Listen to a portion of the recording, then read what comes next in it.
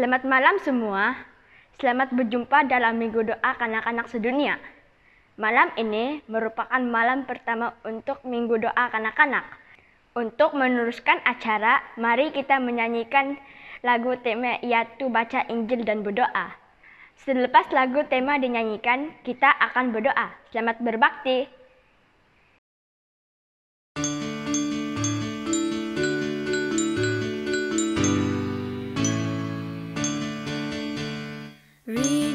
goodbye.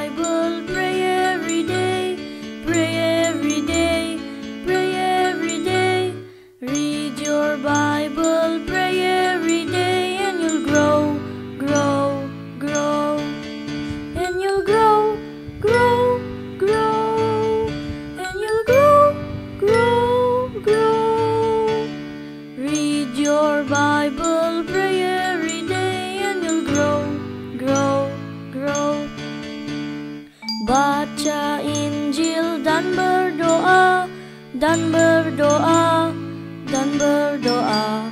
Baca Injil dan berdoa, engkau bertumbuh,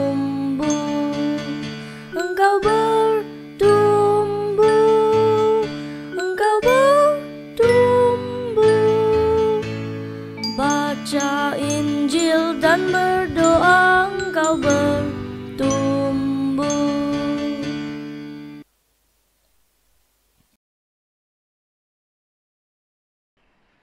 Mari kita berdoa.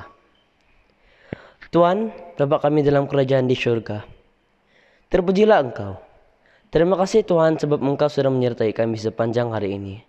Sementara kami belajar firman Tuhan, kami mengundang roh kudusmu beserta kami dalam kebaktian kami pada malam ini. Untuk pembicara kami yang akan menyampaikan firman Tuhan, curahi dia dengan hikmat dari surga. Terima kasih Tuhan, meninggal doa kami. Dalam nama Yesus Kristus kami semua berdoa. Amin. Selamat malam adik-adik, selamat bertemu di Minggu Doa Anak-anak Sedunia. Pada malam ini, Anti akan menceritakan sebuah cerita mengenai seorang anak yang bernama Keke dan buku yang pelit. Ayat hafalan pada malam ini adalah terdapat di 2 Timotius 3 ayat 16. Segala tulisan yang diilhamkan Tuhan memang bermanfaat untuk mengajar, untuk menyatakan kesalahan, untuk memperbaiki kelakuan, dan untuk mendidik orang dalam kebenaran. Keke bersekolah di sebuah sekolah, sebuah sekolah Kristen untuk belajar bahasa Inggris. Guru-guru dari Amerika selalu baik hati dan bersabar mengajar dia.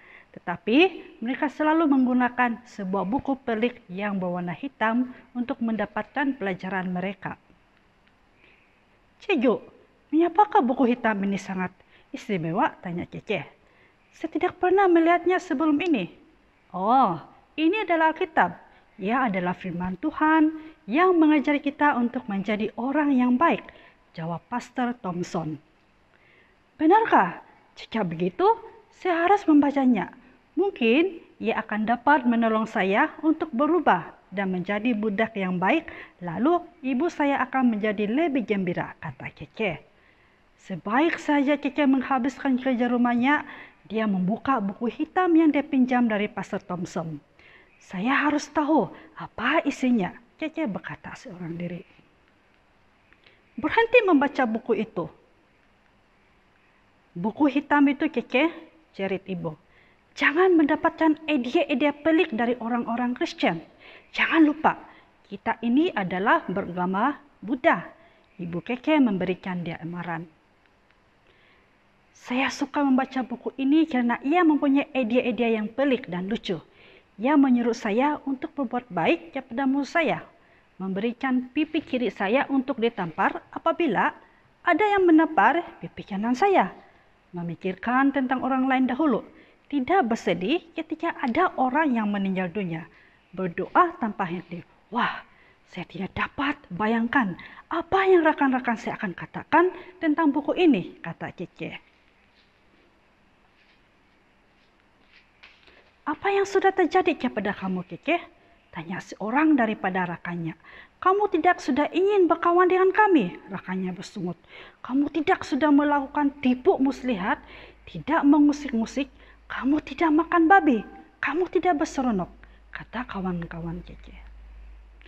Berbulan-bulan kemudian, Cece pergi berjumpa dengan cegunya dengan permohonan yang luar biasa.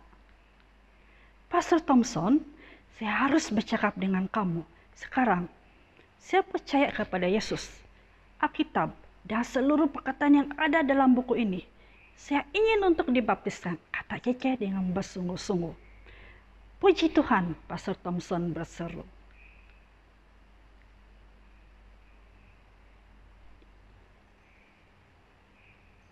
Untuk pelajaran pada malam ini, ada beberapa soalan daripada pelajaran yang akan kita bincangkan, yaitu satu, bagaimanakah Alkitab telah membantu kamu di rumah dan di sekolah? Apa ayat Alkitab yang menyentuh jiwa kamu? Adakah kamu mendapat cabaran untuk membaca Alkitab? Mengapa? Adakah boleh untuk kita hidup seperti mana Alkitab sudah tunjukkan?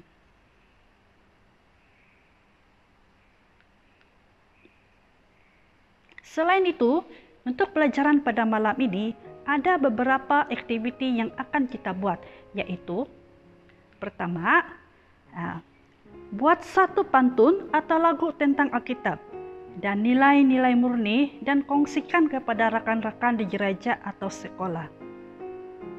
Buat jadwal sendiri untuk membaca dan mempelajari Alkitab setiap hari.